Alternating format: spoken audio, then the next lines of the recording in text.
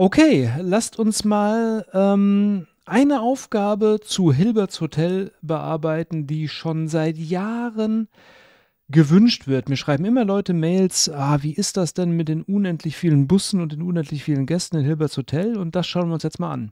Vielleicht, äh, bevor wir das machen, nochmal nähern wir uns vielleicht nochmal der Problematik, dadurch, dass wir uns nochmal anschauen, was war eigentlich Hilberts Hotel, ne? Ähm, okay. Also, Hilberts Hotel, ne, wir haben ein Hotel, das hat unendlich viele Zimmer. Ich zeichne hier mal die unendlich vielen Zimmer.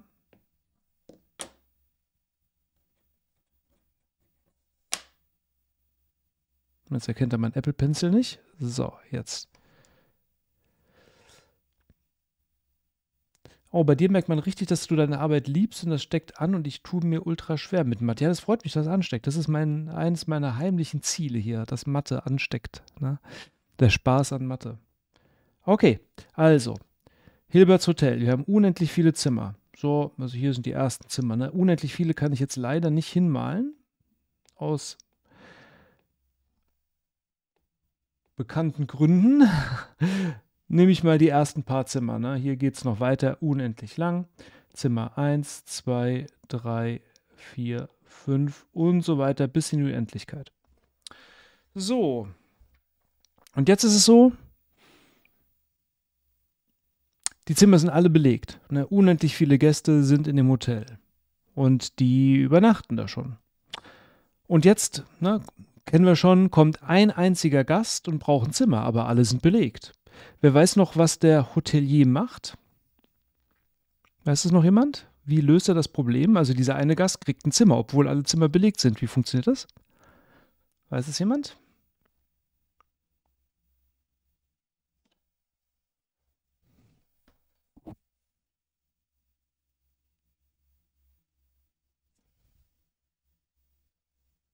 Eins weitergehen. Alle Personen gehen immer ein Zimmer weiter, genau. Jeder schickt ins nächste, alle rücken eins auf, jeder zieht ein Zimmer weiter, genau. Also, na, der hat so ein Durchsage-Channel irgendwie in die ganzen Zimmer und da, äh, wird, das, das wird zeitgleich in alle Zimmer gesendet. Also, wie das physikalisch funktioniert, fragt mich bitte nicht. Aber der sendet zeitgleich in alle Zimmer und sagt bitte alle Gäste ein Zimmer weiterziehen. Also nehmt eure Zimmernummer, addiert eins drauf und dann zieht eins weiter. Also die Gäste ziehen jeweils eins weiter. Ne? So sieht es dann ungefähr aus. So, und dann wird Zimmer Nummer eins frei. Okay, da kann dann der eine Gast einziehen. Das war klar. Okay. So, nächste Aufgabe war, jetzt kommt ein Bus mit unendlich vielen Gästen. Und die wollen auch alle ein Zimmer haben, aber alle Zimmer sind belegt, unendlich viele Zimmer. Was kann man machen? Was macht der Hotelier? Also der kann tatsächlich unendlich viele Zimmer freiräumen in einem Hotel, bei dem unendlich viele Zimmer belegt sind. Aber wie? Weiß es jemand?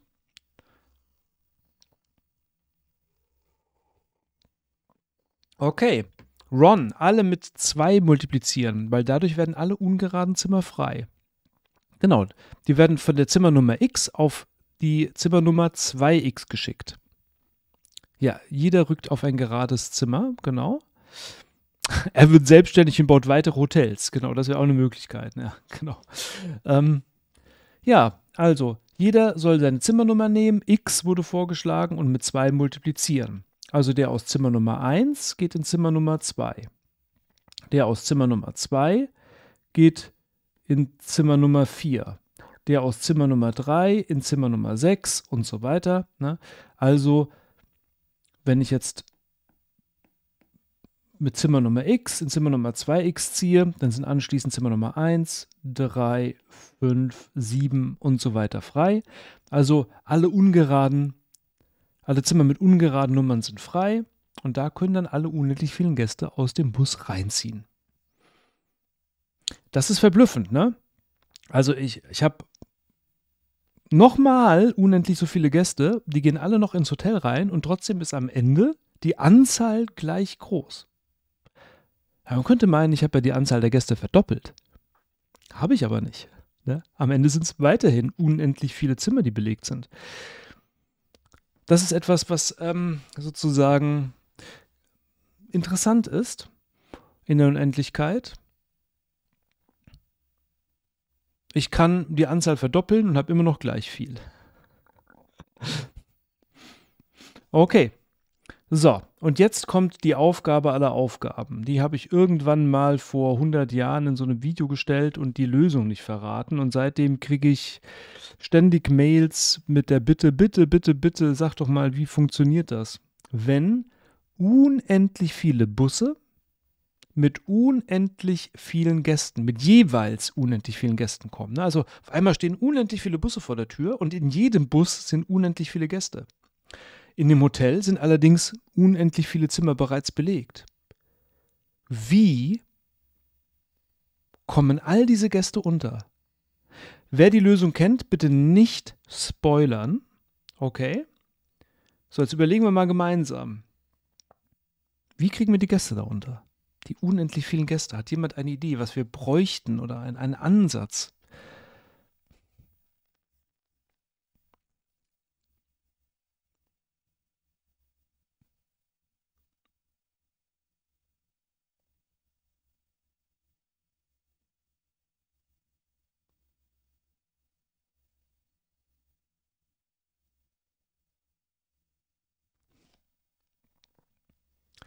Erstmal unendlich viel Personal brauchen. Es wird immer erstmal Personal gefordert, ne? Alles klar.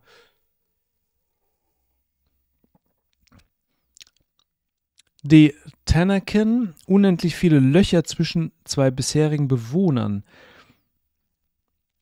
Ja, aber unendlich viele, weiß nicht, reicht denn das, die unendlich vielen Löcher, Löcher zwischen zwei Bewohnern? Weil da geht ja dann vielleicht ein Bus rein, oder? Aber wie kriegen wir dann unendlich viele Busse mit unendlich vielen Leuten rein? GH schlägt vor, vielleicht spielt Zeit eine Rolle. Nein, Zeit spielt keine Rolle. Ähm, alle gehen immer gleichzeitig aus den Zimmern raus und ziehen um und räumen frei. XPHNML erstmal die Busse untereinander stellen. Was hilft das?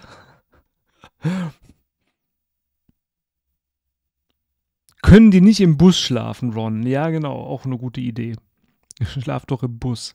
Nee, die wollen natürlich schon ins Hotel, ne? Die sind lang gereist und so weiter.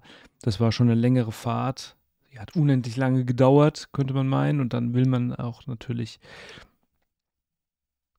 in ein Hotelzimmer.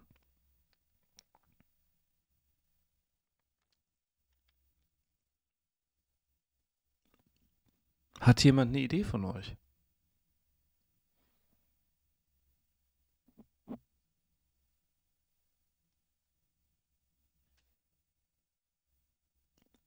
Überlineares Umziehen, Flotchy Kelly. Was meinst du denn damit? Überlineares Umziehen.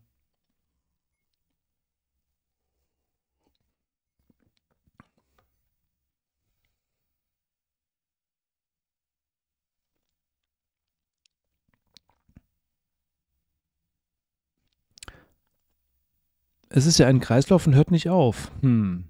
Es muss schon aufhören. Also wir sind zeitlich beschränkt. Ne? Die unendlich vielen Gäste, unendlich viele Busse müssen jetzt heute vor Anbruch der Mitternacht, äh, von Mitternacht müssen die ähm, einziehen können. Ne?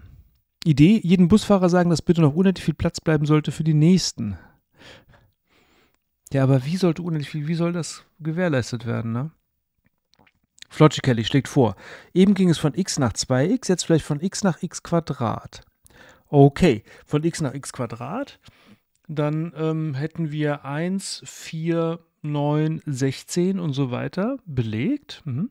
Und jetzt musst du noch sagen, wie die Gäste dann von den unendlich vielen Bussen einziehen, sodass die alle in separate Zimmer kommen. Ne? Es dürfen nicht zwei aus zwei unterschiedlichen Bussen oder so ins selbe Zimmer geschickt werden. Wir brauchen irgendeine Regel. Lord Hammer, man muss die Gäste geschickt durchzählen.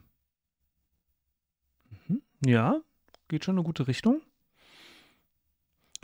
XPHNML, immer vereinzelt Gäste aus verschiedenen Bussen auswählen und dann systematisch machen. Wie genau, müsste man sich dann noch überlegen. Genau. Wir brauchen die Systematik.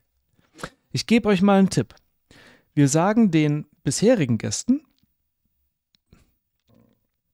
sie sollen mal auf die geraden Zimmernummer umziehen, so wie x, wie eben gerade, x nach 2x. Okay? Also x nach 2x, sodass wir die, un, die ungeraden Zimmer übrig haben. Wir haben die ungeraden Zimmer sind frei.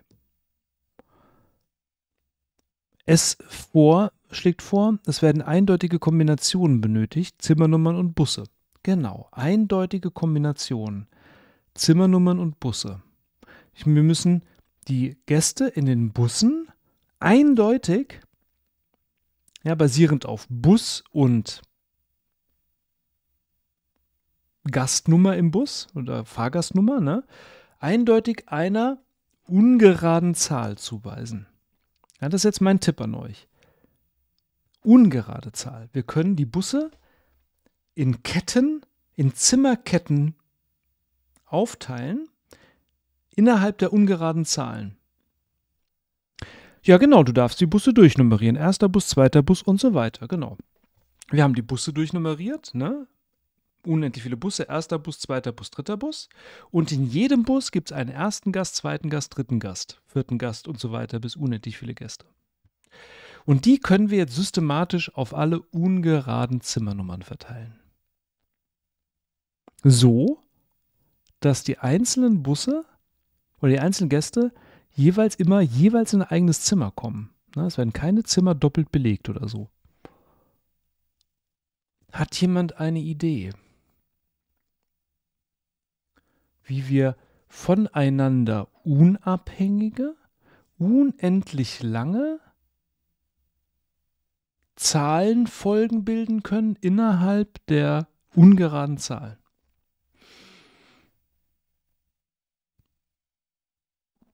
Bin mal gespannt, ob jemand draufkommt.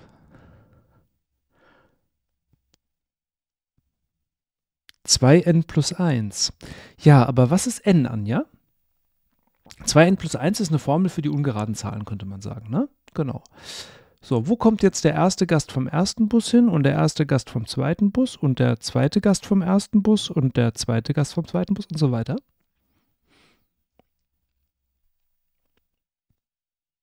n ist eine beliebige Zahl, die man einsetzen kann. Genau, ist das die Busnummer oder die ähm, Personennummer innerhalb eines Busses?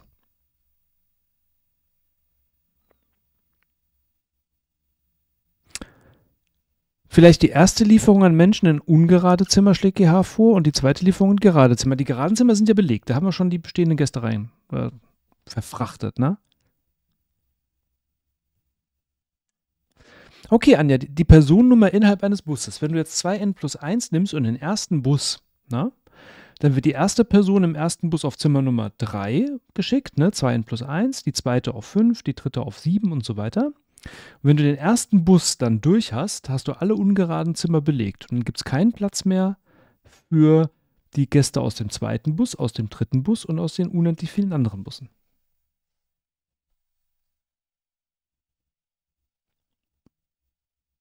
Wenn du jetzt die aus dem ersten Bus alle schickst auf 2n plus 1, mit n ist gleich die Personennummer innerhalb des ersten Busses, sind die Zimmer alle belegt. Alle unendlichen Zimmer. Alle, un, alle ungeraden Zimmer sind belegt dann. ja, da müssen wir noch weiter drüber nachdenken, genau. Ach, ich will euch auch nicht lange auf die Folter spannen, ne? Ja, da braucht man außerdem, na, man braucht nicht unendlich lange, man sagt sozusagen allen Gästen gleich in die Zimmer rein. Ne? Die laufen alle parallel. Das kann man machen. Die Person auf jedes ente ungerade Zimmer schicken. Welche Person auf das ente? Wobei n die Busnummer ist. Ja, aber dann kann man ja nur, na, wenn n die Busnummer ist, angenommen das ist der erste Bus, dann schickt man die Personen auf jedes erste ungerade Zimmer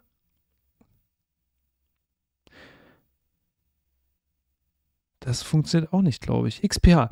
Man könnte zum Beispiel den ersten Gast aus dem ersten Bus nehmen, dann den ersten aus dem zweiten, den zweiten aus dem ersten, den zweiten aus dem zweiten, den ersten aus dem dritten, den dritten aus dem ersten. Ich hoffe, das Muster wird klar. Ach so. Mhm.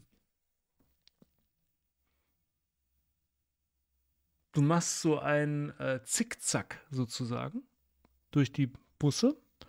Das könnte eine gute Idee sein.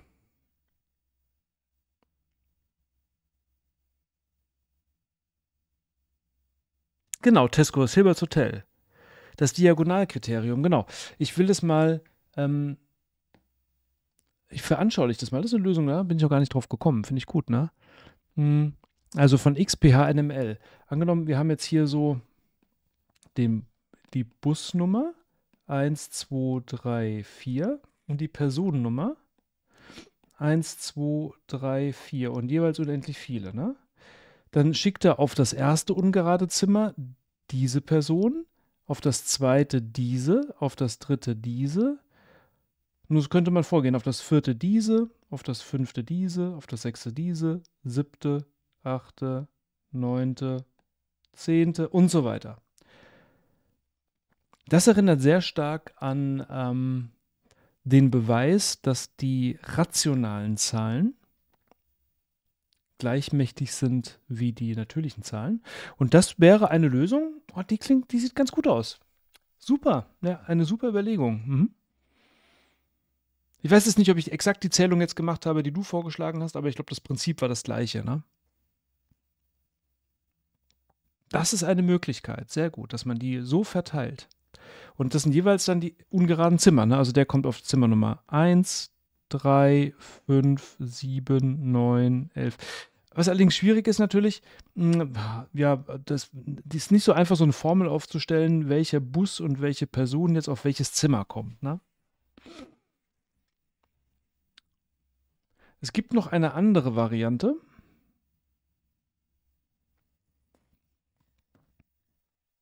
Die verrate ich euch jetzt. Okay, seid ihr bereit? Wer es nicht wissen will, schaltet mal kurz den, den Ton aus. okay, passt auf. Wir haben die ungeraden Zahlen, ne? die haben wir frei. Wenn man die Busnummer zur Potenz nimmt, das geht schon in eine gute Richtung. Genau.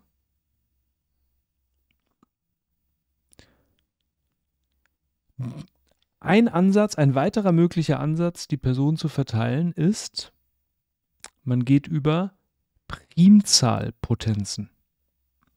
Der erste Bus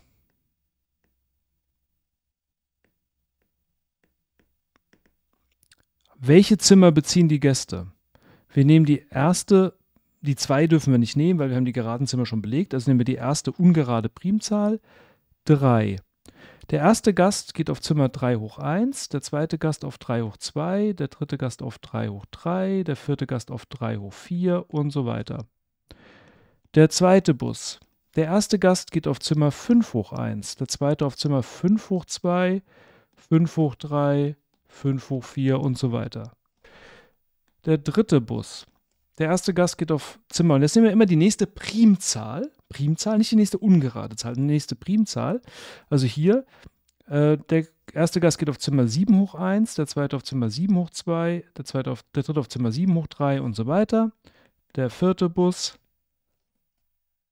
was ist die nächste Primzahl? 11, ne? 11 hoch 1, 11 hoch 2, 11 hoch 3 und so weiter.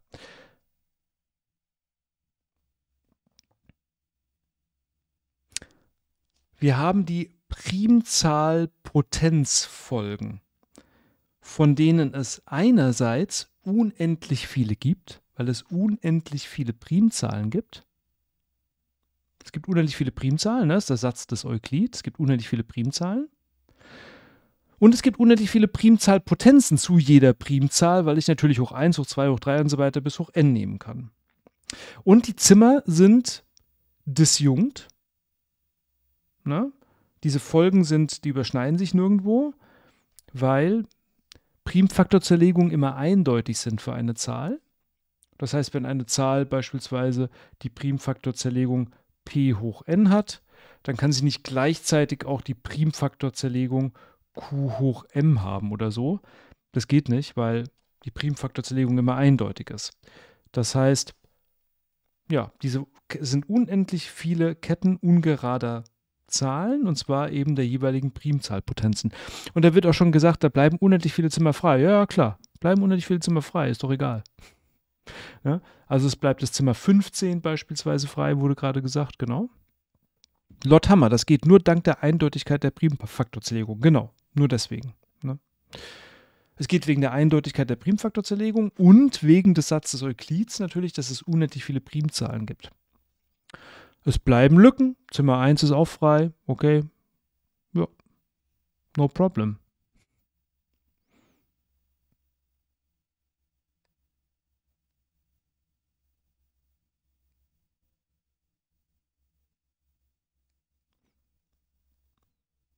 Genau, wenn eine Primzahl ein Produkt teilt, muss sie auch einen der Faktoren teilen. Es bleiben unendlich viele Zimmer frei. Naja.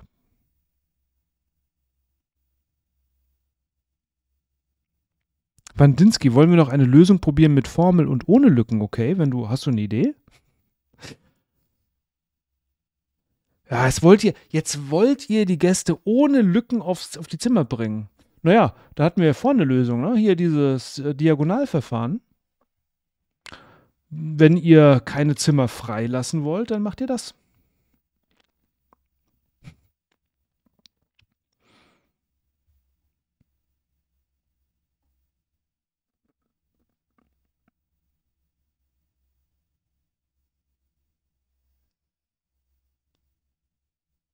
Wandinsky, sowas wie k mal 2 hoch n plus 1 plus 1.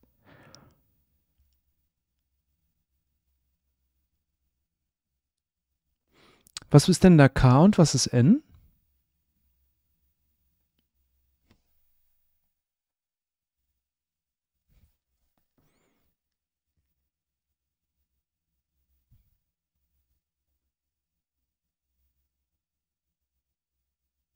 N ist die Busnummer und K ist der Insasse. Ah, okay. Also die Busse werden verteilt auf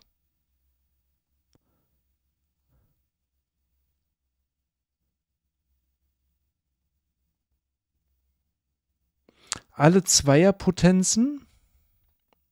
Also Busnummer. Na ah, gut, wir können uns das ja auch mal anschauen, was du jetzt überlegt hast. Genau. Na. So. Also, du schlägst vor k mal 2 hoch n plus 1 plus 1, ne? Also, ähm, ah ja, okay, du willst, du willst keine Lücken lassen, ne? Also du willst minus 1 machen, okay. So, also, nehmen wir mal Bus Nummer 1. Also n ist die Busnummer und k ist der Insasse, Insassennummer. So, okay. Das heißt, der erste Bus wird verteilt auf Vielfache der 4 und am Ende ziehe ich 1 ab. Ne? Richtig?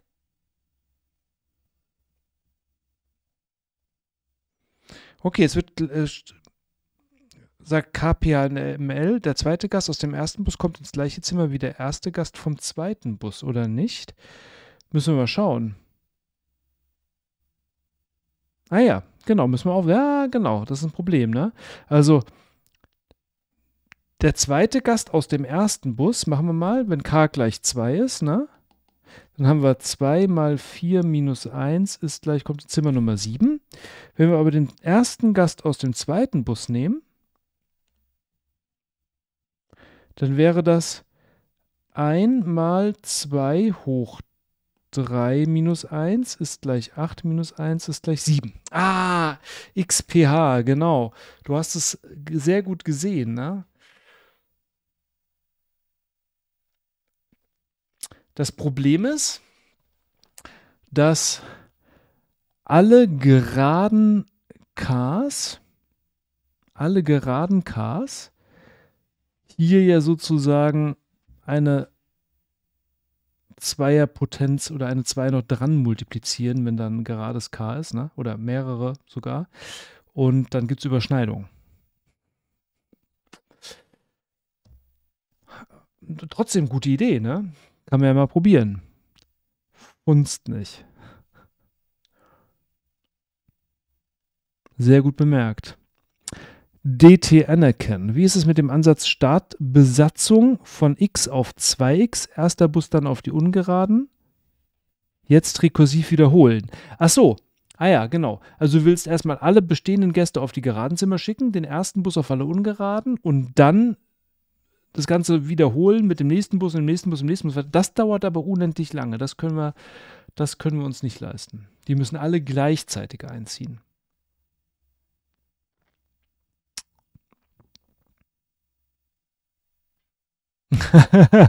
Wandinsky lässt nicht locker. Okay, lass uns 2k minus 1 mal so 2 hoch n plus 1 minus 1 probieren.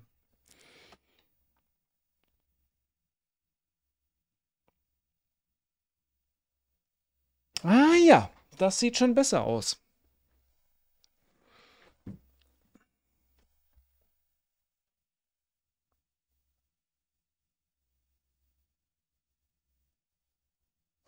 Also der erste Bus.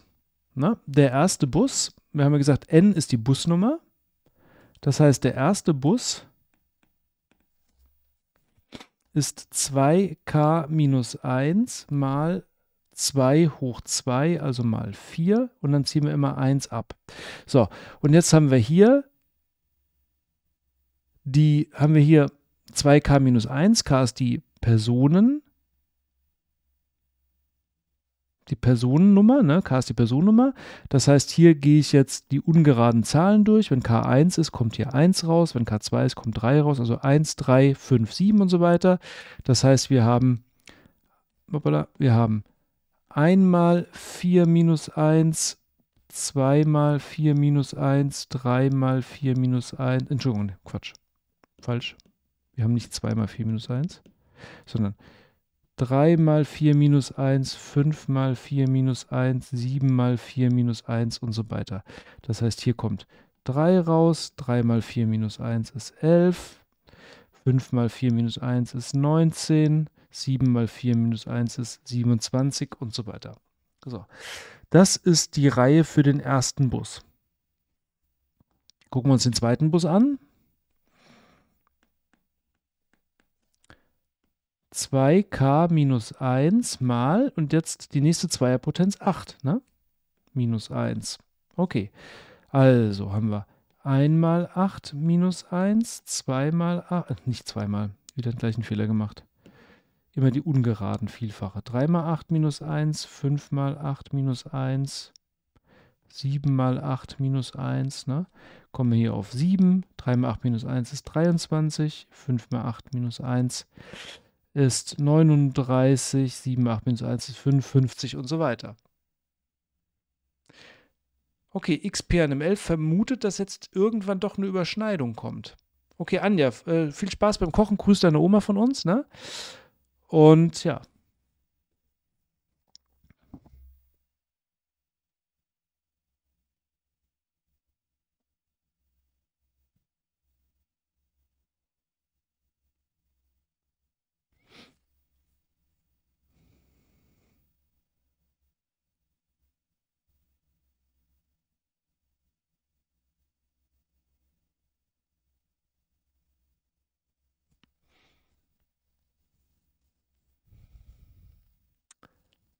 So, jetzt wird hier vermutet, es gibt irgendwann Überschneidungen und Wandinsky sagt, ich glaube jetzt aber nicht.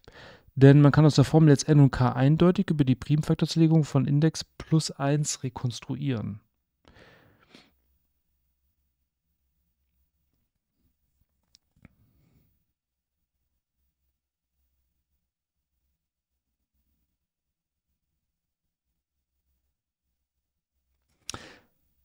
Genau, angenommen, wir lassen das Minus 1 mal hinten weg. Ne? Das geht ja nur darum, dass wir in den ungeraden Zimmern landen. Ne? Wenn wir das mal ausklammern, das Minus 1, dann haben wir ja diesen Ausdruck hier.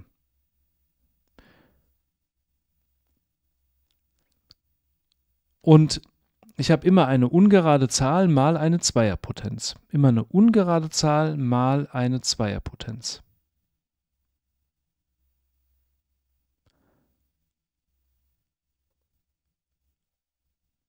Das bedeutet, zwischen den Bussen gibt es keine Überschneidung, weil die Zweierpotenzen unterschiedlich sind.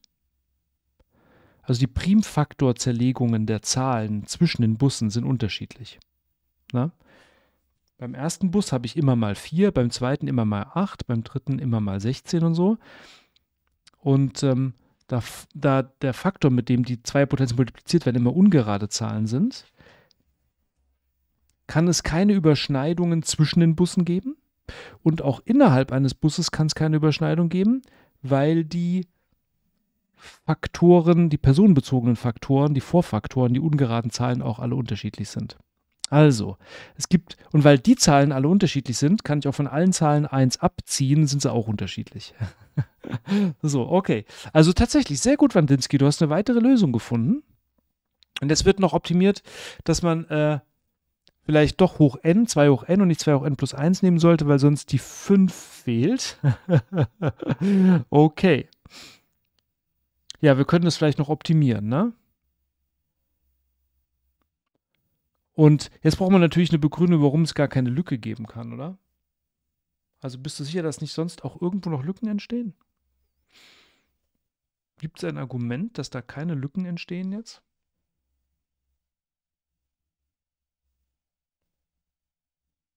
Also angenommen, wir nehmen mal die Formel, die du gerade vorschlägst.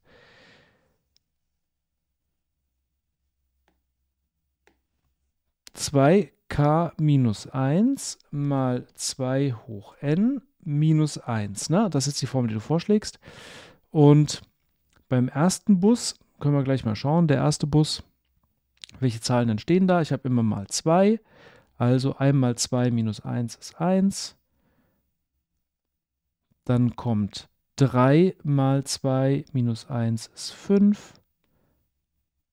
5 mal 2 minus 1 ist 9.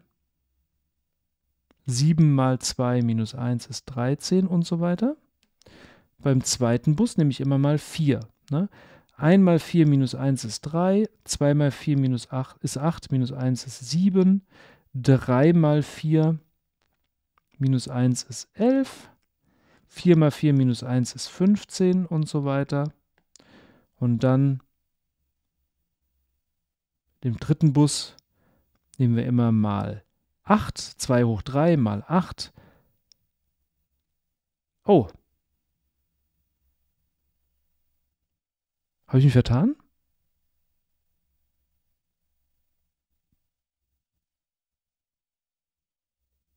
Ein mal 8 minus 1 ist 7. Da hätten wir ja eine Doppelung, oder? Habe ich mich hier vertan? Was machen wir? Wir nehmen mal 4. 2 mal 4 Nee, achso, ich habe mich vertan. Ich habe mich hier vertan, Leute. Hat es jemand gemerkt? Oder war ich was einfach zu, zu fast hier? Gucken wir nochmal. Also, hier nehme ich immer mal 2 hoch 2, also mal 4. 1 mal 4 minus 1 ist 3. 3 mal 4 minus 1 ist 11. 5 mal 4 minus 1 ist 19. So, 7 mal 4 minus 1 ist 27. So, okay. Jetzt gehen wir zur 8 mal 8. Dann kommen wir hier auf die 7 als erstes. Genau, also 1 mal 8 minus 1 ist 7, 3 mal 8 minus 1 ist 23.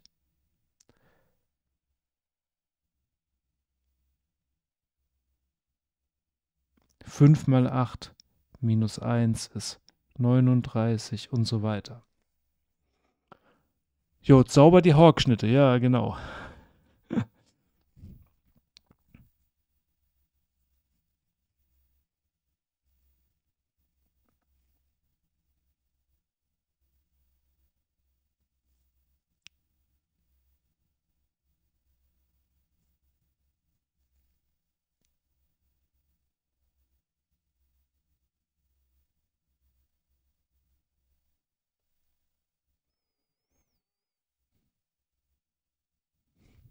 So, und Wandinsky bringt jetzt folgendes Argument. Jede natürliche Zahl ist von der Form 2 hoch n mal 2k minus 1.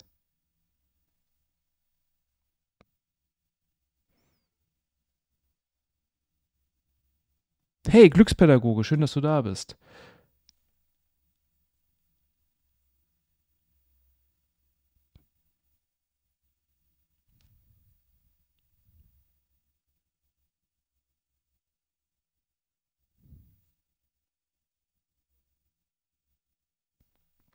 Das Argument ist,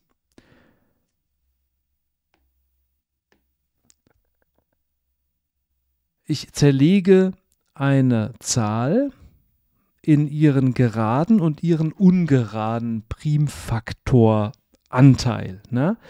Das ist der gerade Primfaktoranteil, das ist der ungerade Primfaktoranteil. Und dadurch kriege ich alle natürlichen Zahlen. Und es werden keine Lücken entstehen. X per ml, ja, es kann keine Lücken geben, da hier jedes ungerade Vielfache einer Zweierpotenz minus 1 vorkommt. Und wenn wir jetzt die Primfaktorisierung einer ungeraden Zahl a betrachten, ist a plus 1 gerade, wird also von einer Zweierpotenz geteilt. Jetzt nehmen wir alle Zweien aus der Primfaktorzerlegung raus und haben eine ungerade Zahl, also ist jede ungerade Zahl ein ungerades Vielfaches einer Zweierpotenz minus 1.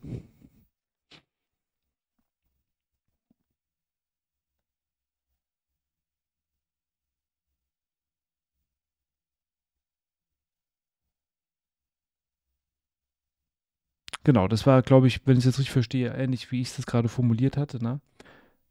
Wir haben einen ungeraden Anteil und einen geraden Anteil in der Primfaktorzerlegung und können so alle Zahlen generieren. Hi, Bio. Bin zum ersten Mal dabei, habe nicht nur die Aufgabenstellung verpasst, sondern auch keine Ahnung. Schaue dennoch interessiert zu und vielleicht verstehe ich noch, worum es geht. Kein Problem.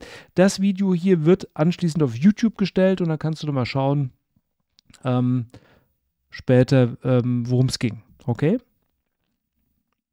Ja, genau. Dort haben wir es geht um Hilbert Ich glaube, wir sind aber fertig mit der Aufgabe. Ne? Also, jetzt haben wir wirklich drei Lösungen generiert. Und ich muss sagen, was ich jetzt toll fand, zwei davon kannte ich nicht. Ne?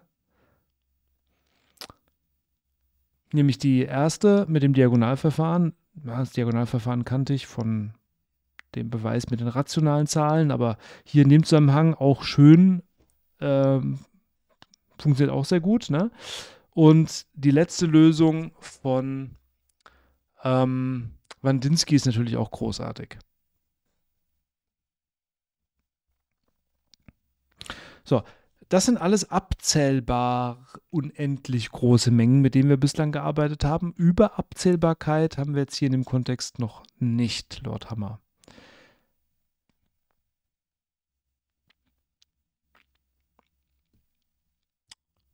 Okay, ich würde sagen, wir beenden diese Aufgabe mal. Sehr schön, viele verschiedene Lösungen generiert und ähm, ja,